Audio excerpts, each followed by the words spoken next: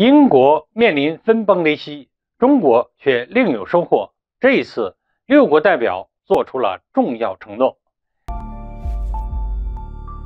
各位网友，大家好，我是卢忠成，欢迎关注本期中诚 Talk。今天我们来聊一聊六个国家的代表做出了重要承诺。英国正面临一个艰巨的挑战。按照美国媒体的话来说啊，存在着分崩离析的危险。为什么这么说呢？一方面啊。英国新任首相特拉斯在大多数人眼里啊，只是一个善于贴标签、摆立场的摇摆政客，并没有能力来解决英国当前面临的诸多问题。另一方面呢，英国女王的逝世势必会加速英联邦的分裂。眼下摆在特拉斯面前的，除了经济问题外，还有两个必须解决的危机：一是北爱尔兰协定书的事情，二是苏格兰闹独立。为了解决第一个危机啊，特拉斯亲自前往纽约会见美国总统拜登。可美英领导人会谈能解决这些问题吗？想必拜登也是有心无力啊。况且，恐怕拜登关心的重点还是对抗中国，而不会是英国会不会分崩离析。相比于英国当前面临的危机啊，中国却在纽约迎来了新的机遇，又获得了一份善意。前几天啊，联合国大会在纽约召开。就在国际局势风起云涌的当下，又有六个国家的代表向中国做出了重要承诺。哪六个国家呢？分别是沙特阿拉伯、阿联酋、科威特、巴林、卡塔尔和阿曼。这六个国家都是海合会的成员，也是全球重要的产油国。这一次，他们集体与中国代表会面，意义非凡呢。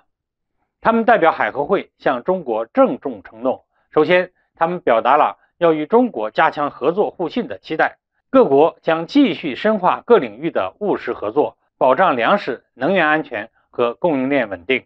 其次呢，海合会代表们表达了坚定的态度，坚决奉行一个中国的政策，并且绝对支持中国维护国家主权和领土完整。为此，海合会愿意在国际事务中啊与中方加强沟通配合，维护和平稳定。最后，各国希望尽快达成中国。与海合会国家间的自贸协定，助力双方更好的发展。毫无疑问，这次海合会国家的表态是相当重量级的，而且这些承诺对我们也非常重要。别忘了，眼下全球能源危机正愈演愈烈，而西方还在搞那套阵营对抗，非要分出个高低上下。而这个时候，海合会愿意表态支持中国，是冒了不小的政治风险的。更何况，他们身为产油大国，在手握重要资源的情况下，是很容易和西方达成合作的。然而，他们依然选择了中国，这说明什么呢？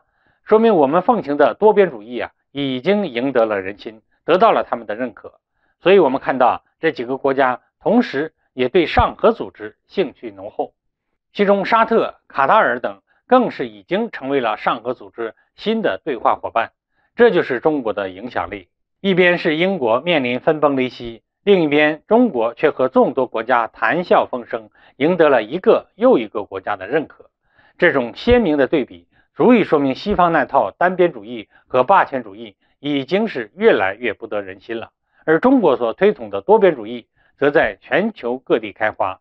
可以想象得到，随着时间的推移，认同中国与中国展开合作的国家和组织只会越来越多。